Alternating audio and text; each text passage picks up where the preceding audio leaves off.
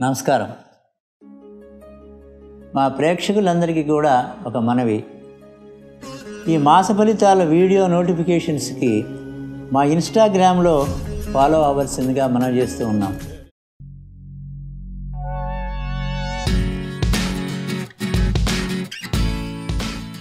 నమస్కారం.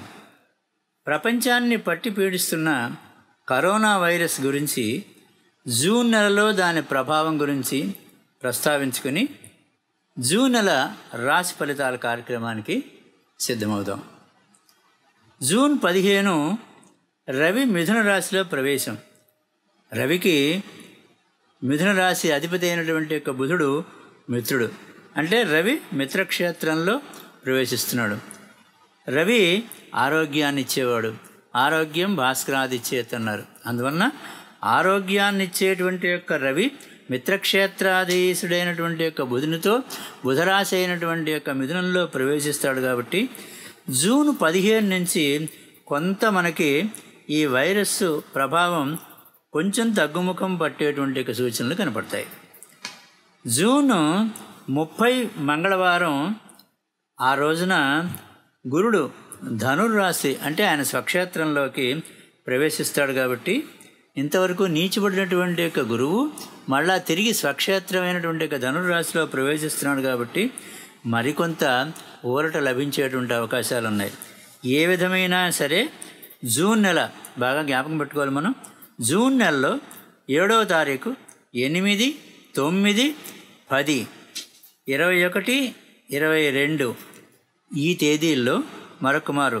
ఏడు ఎనిమిది తొమ్మిది పది ఇరవై ఒకటి ఇరవై రెండు. ఈ తేదీల్లో వైరస్ విజృంభించేటువంటి యొక్క అవకాశాలు కొన్ని పరిస్థితుల మూలంగా కొన్ని గ్రహ పరిస్థితుల మూలంగా ఎక్కువ విజృంభించేటువంటి అవకాశాలు కనపడుతున్నాయి కాబట్టి ఆ తే ఆయా తేదీల్లో అందరూ జాగ్రత్తగా ఉండండి. ముఖ్యంగా వృద్ధులు పిల్లలు అత్యంత జాగ్రత్త వహించవలసిందిగా మనం చేసుకుంటూ ఉన్నాను. రెండు వేల ఇరవై జూన్ నెల కర్కాటక రాశి రాశి ఫలితాలు. జూన్ నెలలో రవి ప్రతి నెలా మారుతున్నట్టుగా జూన్ నెలలో కూడా మారుతారు. అదొక విశేషం. అన్నిటికంటే ముఖ్యమైనటువంటిది జూన్ నెలలో ఇరవై తొమ్మిదో తారీఖు అంటే ముప్పయో తారీఖు కింద లెక్కేసుకోవచ్చు మనం. ఆ రోజున గురువుగారు నీచబడి మకర రాశిలో సంచరిస్తున్నటువంటి యొక్క గురువుగారు మళ్ళా వెనక్కి తిరిగి వచ్చి ఆయన స్వక్షేత్రమైనటువంటి యొక్క ధనురాశిలో సంచరించబోతూ ఉన్నాడు. అద్భుతమైనటువంటి యొక్క ఫలితాలు ఈ జూన్ నెల చివరిలో అందరికీ కూడా రాబోతూ ఉన్నాయి. సో అవి ఆ విశేషాలను కూడా మనం చెప్పుకుందాం. ఎక్కువగా ఈ జూన్ ఇరవై తొమ్మిది చివర మూడు ముప్పైలో వచ్చింది కాబట్టి జూలై నెల రాశి ఫలితాల్లో ఇంకా విశేషంగా చెప్పుకుందాం. ఈ యొక్క గురువు యొక్క సంచారం మారిన సంచారం ఏ రాశి మీద ఎలా ఉంటుందో అనేది మనం జూలై నెల రాశి ఫలితాల్లో విపులంగా చెప్పుకుందాం అని మనం చేస్తున్నాను. ఇప్పుడు గురువు గురు సంచారం ఎక్కడ ఉన్నది? ఆ సంచార ప్రభావం కర్కాటక రాశి మీద ఎలా ఉంటుంది అనేటువంటిది మనం తెలుసుకుందాం. గురు యొక్క సంచారం. గురువు ఇప్పుడు సంచారం మకర రాశిలో సంచారం చేస్తూ ఉన్నాడు. అంటే కర్కాటక రాశికి మకర రాశి ఏడవ రాశి అవుతుంది. అంటే సప్తమంలో సంచారం చేస్తూ ఉన్నాడనమాట సప్తమంలో సంచారం చేస్తూ ఉండేటువంటి వాడు ఎలా సంచారం చేస్తూ ఉన్నాడయ్యా అంటే ఇప్పుడు కర్కాటక రాశి వాడికి కర్కాటకం సింహం కన్యా తుల వృశ్చికం ధనుస్సు మకరం ఏడు. ఏడింటి సంచారం చేసేటువంటి యొక్క గురువుగారు సువర్ణమూర్తిగా సంచారం చేస్తూ ఉన్నాడు. ఇది మనకు కావాలి.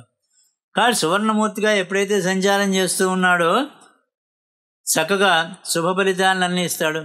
మరి యోగదాయకమైనటువంటి యొక్క ఫలితాలను ఇస్తాడు కర్కాటక రాశి వాళ్ళకి. తర్వాత సప్తమ స్థానంలో సంచారం చేస్తూ ఉన్నాడు కాబట్టి ఆ సప్తమానికి కూడా అంటే భార్య స్థానానికి కూడా చాలా బాగా ఉంటుంది ఆరోగ్యంగా ఉంటారు అని మనం చెప్పుకోవచ్చు. సువర్ణమూర్తిగా గురువు సంచారం చేయటం అనేటువంటి కర్కాటక రాశి వారికి జూన్ నెలలో చెప్పుకోదగినటువంటి యొక్క శుభ పరిణామం. మంచి ఆనందదాయకమైనటువంటిది యోగప్రదమైనటువంటి యొక్క కాలం జూన్ నెల ఇగో ఈ కర్కాటక రాశి వారికి. ఇక శని సంచారం ఏ విధంగా ఉన్నది అని మనం ఇప్పుడు ఆలోచన చేద్దాం. శని కూడా ఈ మకర రాశిలోనే సంచారం చేస్తూ ఉన్నారు. అంటే ఏడింటే సంచారం చేస్తూ ఉన్నాడు. అయితే ఏడింటి సంచారం తామ్రమూర్తిగా సంచారం చేస్తూ ఉన్నాడు అక్కడ. తామ్రమూర్తిగా సంచారం చేస్తున్నాడు అంటే అంటే సప్తమా సప్తమాధిపతి సప్తమంలో ఉన్నాడు అని అర్థం. కర్కాటక రాశి వాళ్ళకి సప్తమాధిపతి ఎవరండి? శని. సప్తమ అష్టమాధిపతి. శని అవుతాడు కర్కాటక రాశి వాళ్ళకి. సప్తమ అష్టమాధిపతి సప్తమంలోనే సంచారం చేస్తూ ఉన్నాడు. కాబట్టి సప్తమ సప్తమాధిపతి సప్తమంలో ఉంటే మంచి ఫలితాలను ఇస్తాడు. దాని గురించి మనం బెంగపెట్టుకోవాల్సిన పని లేదు. కాబట్టి జూన్ నెల శని సంచారం కూడా సప్తమ సంచారం సప్తమాధిపతి అయినటువంటి యొక్క శని సంచారం కర్కాటక రాశి వాళ్ళకి శుభదాయకంగా ఉంటుంది. రాహు యొక్క సంచారం ఎలా ఉంది? రాహు ఇప్పుడు ఎక్కడ సంచారం చేస్తున్నారు? రాహు సంచారం మిథున రాశిలో సంచారం చేస్తూ ఉన్నాడు. మిథున రాశి కర్కాటక రాశికి ఏమవుతుంది? వ్యయరాశి అవుతుంది. అంటే పన్నెండవ రాశి. పన్నెండవ రాశిలో రాహు సంచారం చేస్తూ ఉన్నాడు. అక్కడ అంటే మిథునంలో సంచారం చేస్తూ ఉన్నాడు. వ్యయంలో సంచారం చేస్తున్నాడు. లోహమూర్తిగా కూడా సంచారం చేస్తూ ఉన్నాడు. అందుకోసమని చెప్పనని ఇది రాహు యొక్క సంచారం కర్కాటక రాశి వారికి అంతగా శ్రేయోదాయకం అని చెప్పడానికి అవకాశాలు లేవు.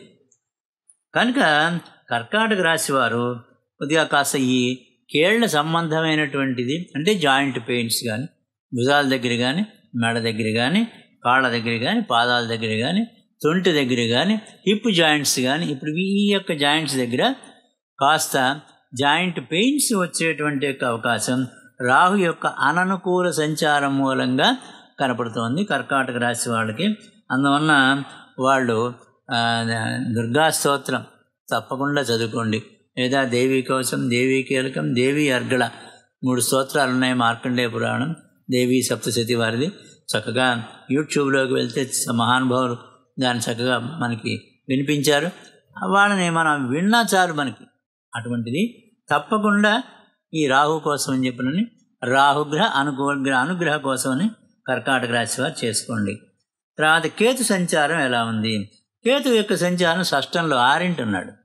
ఆరింట ధనుర్ రాశిలో లోహమూర్తిగా సంచరిస్తూ ఉన్నాడు. అయినా మీరు బెంగపడాల్సిన పనేం లేదు. లోహమూర్తిగా సంచరించినప్పటికీ కూడా ఆరింట సంచారం ఇప్పుడు కూడా చంద్రుడి దగ్గర నుంచి ఆరింట కనుక కేతు ఉండేటట్టయితే ఆరింట సంచారం శుభ ఫలితాన్ని ఇస్తుంది అని చెప్పిన శాస్త్రం. కనుక కేతువు యొక్క సంచారం ఈగో కర్కాటక రాశి వారికి అద్భుతంగా ఉంది.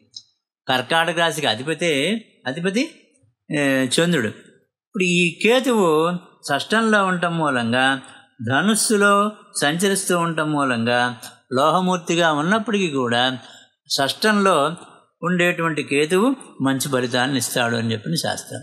కాబట్టి కేతు సంచారం అనుకూలంగా ఉంది కర్కాటక రాశి వారికి. రవి యొక్క సంచారం ఏ విధంగా ఉంది? రవి సంచారం వృషభ రాశిలో సంచరిస్తూ ఉన్నాడు. వృషభ రాశి ఏమవుతుందండి కర్కాటకానికి లాభరాశి అవుతుంది. లాభంలో రవింటూ ఆరోగ్యం ఇస్తాడు. దాని చెప్పేది ఉంది చూసారా కాబట్టి రాహు రవి యొక్క సంచారం మంచి ఆరోగ్యాన్ని ఇస్తుంది కర్కాటక రాశి వారికి. అలాగే తర్వాత మిథున రాశిలోకి సంచారం చేస్తాడు రవి. మిథున పన్నెండు అంటే ఆ మిథున రాశిలో సంచారం చేస్తాడు. మిథున రాశికి అధిపతి ఎవరండి? బుధుడు. కాబట్టి బుధుడింటో రవి ప్రవేశం చేశాడు. వాళ్ళిద్దరూ మిత్రులే. కాబట్టి పన్నెండింటి సంచారం కూడా వీరికి అననుకూలత మాత్రం కాదు అనుకూలంగానే ఉంటుంది ఈ యొక్క కర్కాటక రాశి వారికి అని చెప్పాలి. తర్వాత కుజగ్రహ సంచారం ఎలా ఉంది? కుజగ్రహ సంచారం పదిహేడు తారీఖు వరకు జూన్ పదిహేడు వరకు కూడా కుంభరాశిలో సంచరిస్తాడు. అది ఎనిమిదవ రాశి అవుతుంది. ఎనిమిదవ రాశి. దాని తర్వాత పద్దెనిమిది నుంచి మేనంలో భాగ్యంలోకి వెళ్ళి సంచరిస్తూ ఉంటాడు. చాలా బాగా ఉన్నది. అయితే ఈ కుజుడు ఈ కర్కాటక రాశికి కర్కాటకం సింహం కన్య తుల వృశ్చికం ధనస్సు మకరం కుంభం మేనం మేషం. అంటే తొమ్మిది పది పదో పది రాసేవాడైనాడు ఏదన్నప్పటికీ కూడా కుజుడు యొక్క సంచారం మొట్టమొదటి హాఫ్ కంటే తర్వాత హాఫ్ చాలా యోగదాయకంగా ఉంటుంది భాగ్యంలో సంచరిస్తూ ఉంటాడు కాబట్టి. తర్వాత బుధగ్రహ సంచారం. బుధుడి గ్రహ సంచారం మిథునంలో సంచారం చేస్తూ ఉన్నాడు. ఈ యొక్క బుధుడు ఈ ఈ యొక్క జూన్ నెలంతా కూడా. ఈ కర్కాటకానికి మిథునం ఏమవుతుందండి? పన్నెండు అవుతుంది. అంటే వ్యయంలో సంచారం చేస్తూ ఉన్నాడు ఈ యొక్క బుధగ్రహం. అది యొక్క అది కూడా అంటే ఆ స్వర స్వ స్వరాశిలో సంచారం చేస్తూ ఉన్నాడు. అంటే కర్కాటక రాశి వారికి వియాధిపతి అయినటువంటి యొక్క బుధుడు వ్యయంలోనే సంచరిస్తూ ఉండటం అనేటువంటిది యోగదాయకం. అదే మన మన యొక్క ఆలోచన సరళి ఆ విధంగా పెట్టుకోవాలి. కాబట్టి బుధుడు యొక్క సంచారం బాగా ఉంది. శుకుడు యొక్క సంచారం శుకుడు వృషభ రాశిలో సంచరిస్తూ ఉన్నాడు. మిథున కర్కాటక రాశి వారికి ఈ యొక్క వృషభ రాశి ఏమవుతుందండి? లాభరాశి అవుతుంది. అంటే లాభంలో లాభాధిపతి అయినటువంటి యొక్క శుక్రుడు సంచరిస్తూ ఉన్నాడు కాబట్టి శుక్రుడి యొక్క అనుగ్రహం శుక్ర సంచారం సంపూర్ణ అనుగ్రహంతో ఉంటుంది. కర్కాటక రాశి వారికి జూన్ నెల అంతా కూడాను. అంటే ఇప్పుడు ఈ వీటిని బట్టి మనకి గురువు గారు సువర్ణమూర్తిగా సంచరిస్తూ ఉన్నాడు కాబట్టి విద్యార్థులకి బాగుంటుంది వ్యాపారస్తులకి బాగుంటుంది. కుజుడు రెండవ రెండవ హాఫ్ చాలా బాగా ఉన్నాడు కాబట్టి కొంత పంట మొదటిలో తగిన తర్వాత ఓవరాల్గా లాభం సంపాదిస్తారు వ్యవసాయదారులు. అలాగే స్త్రీలకి శుక్రబలం బాగుంది కాబట్టి స్త్రీలకి కళాకారులకి పర్వాలేదు. స్త్రీలకి మంచి యోగదాయకమైనటువంటిది ఈ యొక్క ఇది చెప్పాలి. ఉద్యోగస్తులకి గురువు యొక్క అనుగ్రహం బాగుంది. రవి యొక్క సంచారం కూడా బాగానే ఉంది కాబట్టి వాళ్ళకి కూడా మేలుకరంగానే ఉంటుంది. ఇవి దీని తర్వాత ఇప్పుడు మాసాధిపతులు మనం తీసుకుందాం. ఒక్కొక్క మాసం ఈ మాసంలో ఈ నక్షత్రాలు తీసుకుందాం. కర్కాటకంలో ఉండే నక్షత్రాలు. ఆ నక్షత్రాలకి అధిపతులు ఎవరవుతారు అని చెప్పి మనం బేరీజ్ వేసుకుని చెప్పుకుందాం. పునర్వసు నక్షత్రం నాలుగవ పాదం కర్కాటకంలో ఉంటుంది. నాలుగవ పాదం పునర్వసు వారికి ఏమని అంటే చంద్రుడు అధిపతిగా ఉంటాడు. చంద్రుడు మాసాధిపతి పునర్వసుకి. పునర్వసుకి అధిపతి మాత్రం గురువుగారు.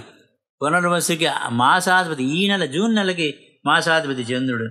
కాబట్టి ఆ చంద్రుడికి లక్ష్మీ అష్టోత్తరం చదువుకోండి. తర్వాత ఆ, ఆదిత్య హృదయ స్తోత్రం చదువుకోండి. గురువుగారి యొక్క స్తోత్రం చదువుకోండి. పునర్వసు నక్షత్రం వాడు నాలుగో పాదం వారు కర్కాటక రాశిలో ఉండేటువంటి నాలుగవ పాద పునర్వసు నక్షత్రం వారు. అలాగే పుష్యమీ నక్షత్రం వారికి. పుష్యమీ నక్షత్రం వారికి ఈ యొక్క ఈ నెలలో ఈ నెల అధిపతి పుష్యమీ నక్షత్రం వారికి ఈ నెలలో అధిపతి శుక్రుడు. శుక్రగ్రహ ఫలితాలు గృహంలో శుభకార్యాలు కలిసి రావడం కృషి వృద్ధి ధనధాన్య వృద్ధి భూగృహ లాభాలు పరీక్షల్లో జయం గృహ జీవితానందం ఇలాంటివన్నీ కూడా చక్కగా వీరికి కలిసి వస్తాయి. ఈ దీని మూలంగా పునర్వసు ఈ పుష్యమీ నక్షత్రం వారికి శుక్రుడి యొక్క ఫలితాలు ఇవన్నీ కూడా వారికి రాబోతున్నాయి. ఇందాక మనం పునర్వసు వారికి చెప్పుకుందాం. పునర్వసు నక్షత్రం వారికి మనం చంద్రుడి నక్షత్రం అని అన్నాం. చంద్రుడు చాలా మ చల్లనివాడు మనసును నిర్మలంగా ఉంచుతాడు. వారికి చేసుకోవాల్సింది చెప్పుకున్నాం. పుష్యమీ నక్షత్రం వారికి శుక్రుడు ఉన్నాడు కాబట్టి శుక్ర ఫలితాలు చెప్పాం ఇప్పుడు. అయితే వారు దుర్గా కవచాన్ని చదువుకోవడం మంచిది. పుష్యమీ నక్షత్రం వారు. అలాగే లక్ష్మీ అష్టోత్తరాన్ని కూడా చదువుకోవడం చాలా మంచిది. ఇక ఆశ్లేష నక్షత్రం వారికి రవి మాసాధిపతిగా ఉన్నాడు. రవి మాసాధిపతిగా ఉండేటువంటి యొక్క ఫలితాలు ఏంటంటే మంచి చక్కటి వార్తలు వినటం మరి కోర్టులో వ్యవహారాలు ఏమన్నా ఉంటే అది జయంగా ఉండటం ప్రతి విశేషంలో కూడా మీ చెయ్యే పైగా ఉండటం మీ మాటకి అందరూ కూడా విలువ ఇవ్వటం ఇవన్నీ కూడా రవి యొక్క ఫలితాలు. మాసాధిపతి మీకు రవి. కాబట్టి ఆదిత్య హృదయ స్తోత్రం చదువుకోండి. లేదా సూర్య భగవాను ప్రార్థన చేసుకోండి. సూర్యారాధన చేసుకోండి. సూర్య అష్టోత్తరం చదువుకోండి. మీ ఇష్టం ఏదైనా ఒకటి దాన్ని చక్కగా ఏడుకొని అన్నీ చేస్తే మరీ మంచిది అంత సమయం ఉండాలి కదా. కాబట్టి ఏదో ఒకటి తీసుకుని అష్టోత్తర పారాయణ చేయటము ఆదిత్య హృదయ స్తోత్రం చేయటము సూర్యుడికి ఎదురుకుండా నిలబడి ఓం సూర్యాయ నమః అని అనుకుంటూ ఉండటము. ఏదైనా చేయండి. సూర్యారాధన చేయటం అనేటువంటి చాలా ఉత్తమమైనటువంటి ఫలితాలను ఇస్తుంది. ఆశ్లేష నక్షత్రం వారికి రవి మాసాధిపతి కాబట్టి. ఇప్పుడు వీరి యొక్క అదృష్ట సంఖ్య రెండు. ఒకటి నాలుగు ఆరు ఎనిమిది తొమ్మిది. ఆది సోమ శుక్ర శనివారాలు వీరికి కలిసి వస్తాయి. ఈ రాశి వారికి నవగ్రహాలు కూడా ఏకాదశి స్థానంలో ఉండేటువంటి యొక్క ఫలితాన్ని సంప్రాప్తింపజేయవలసిందిగా పరమాత్మని ప్రార్థన చేస్తూ సర్వేదనా సుగుణో భవంతు స్వస్తి.